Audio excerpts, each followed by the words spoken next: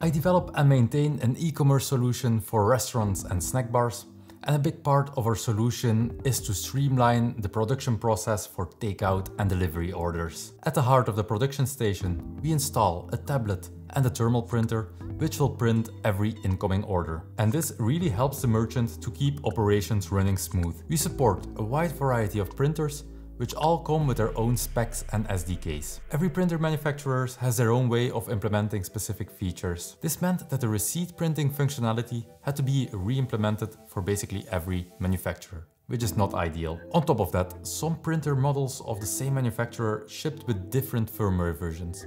And this led to weird bugs and quirks in the field. Think of it like dealing with cross-browser compatibility issues, but much worse. Most printers implemented some form or subset of the escape POS protocol, which gets its name from the escape character that's used at the beginning of every command. It's invented by Epson and it's broadly used in thermal printers today. Other companies like Star, for example, invented their own language called StarPRNT, which is heavily inspired by the Escape POS protocol, but just a little bit different. In an effort to reduce the development time, we built a system that would generate a snapshot of an HTML page and send that image to the printer. This removed the hassle of re-implementing the low-level printing specifications for every printer, for example, like changing the font or the font size. It improved consistency and added a great amount of flexibility to the receipts that the merchants could define. We created a small interface that allowed our merchants to design their own receipt, which ultimately rendered HTML and CSS. Our first version wrapped WebKit HTML to image in our monolithic Laravel application. When a request came in, WebKit HTML to image generated an image synchronously. The process of generating this snapshot took around one second and during the time an HTTP connection was held open.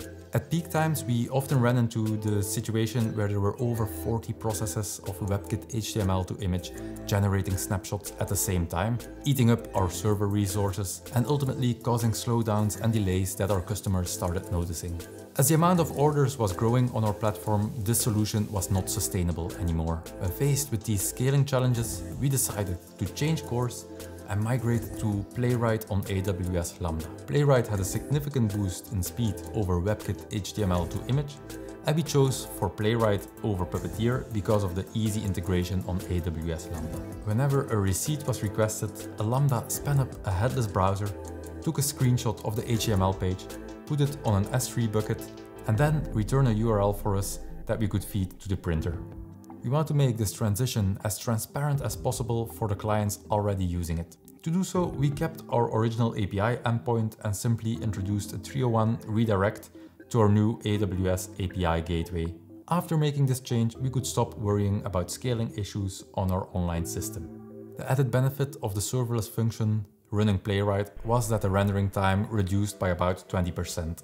To achieve this, Playwright required a decent amount of memory and at our peak we were reaching around 30,000 invocations daily, which resulted in a bill of around 200 euros a month. One of the big drawbacks of this setup was that there is a dependence on the internet connection.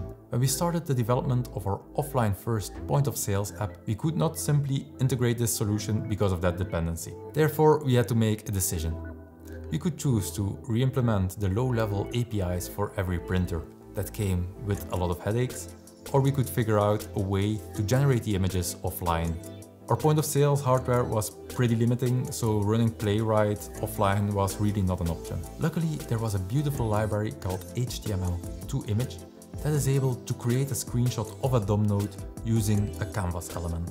The way this works is by cloning your specified DOM node in an SVG element using the foreign object. Foreign object is a feature of SVG that allows you to have HTML inside an SVG and your browser is perfectly able to render most of it. This SVG element is then copied onto a canvas node, which can ultimately be copied as an image. We re-implemented our receipt builder module client-side using a templating language called Nunjucks. Nunjucks made it quite easy to render templates into an HTML string. After this HTML string was rendered, we injected it into its own iframe and we used HTML to image to create a screenshot of this iframe. We could then feed the resulting image to the printer over USB or over local network. And the results were pretty good. By cutting out the overhead of a network request and Playwright, we were able to reduce the ticket rendering time by around 40%. Generating a ticket now took less than half a second. The feedback we were hearing from our merchants was great, so we decided to roll out this solution on all our other platforms until we could ultimately shut down our serverless handler and start saving money. The simple fact of generating these images locally saved us over 2,400 euros a year, which greatly outweighs the development effort that was required to implement this. And there you have it. Our journey from battling with printer compatibility issues and scaling challenges into migrating everything to Playwright on AWS Lambda and finally landing on an offline first solution using HTML to image. A journey that not only cut our costs but greatly improved the performance and reliability of our system. This evolution not only highlights the importance of adapting to new technology, but also showcases how sometimes when taking a step back and looking at a problem from a different angle can lead to new insights and potential cost savings. Thank you for watching and I will see you in the next one.